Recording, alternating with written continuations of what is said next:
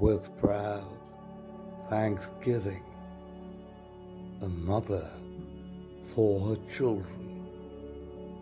England mourns for her dead across the sea. Flesh of a flesh they were, spirit of a spirit, fallen in the cause of the free. Solemn, the drums thrill, death, august and royal, sings sorrow up into immortal spheres. There's music in the midst of desolation and a glory that shines upon our tears. They went with songs to the battle. They were young,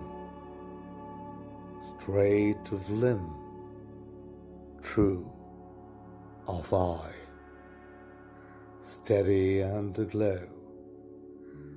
They were staunch to the end against odds uncounted. They fell with their faces to the foe. They shall not grow old as we that are left grow old. Age shall not weary them nor the years condemn at the going down of the sun, and in the morning we will remember them. They mingle not with their laughing comrades again. They sit no more at familiar tables of home.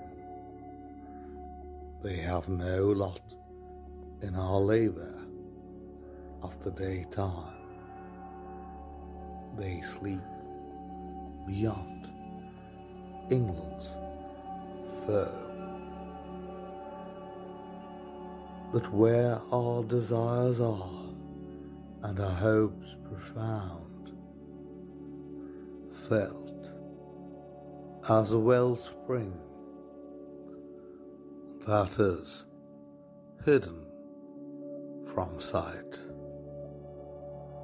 To the innermost heart of their own land they are known as the stars are known to the night.